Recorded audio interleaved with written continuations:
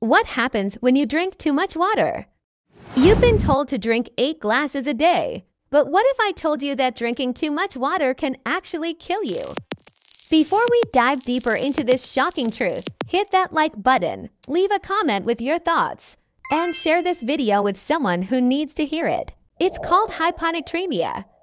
It sounds complex, but the science is surprisingly simple your body's sodium levels get dangerously diluted. Sodium is absolutely crucial for proper nerve and muscle function, and when it drops, things really go haywire. The most terrifying part your brain cells start to swell. Because your skull is a fixed space, that swelling causes immense pressure, leading to symptoms like confusion, seizures, and in extreme cases, a coma. So, what's the safe zone? Listen to your body.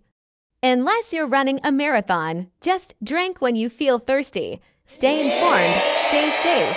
Enthusiastic voice if your mind is completely blown by simple science facts like this, then you absolutely have to smash that subscribe button.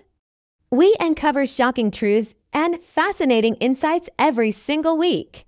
Thanks for watching, and we'll see you in the next video.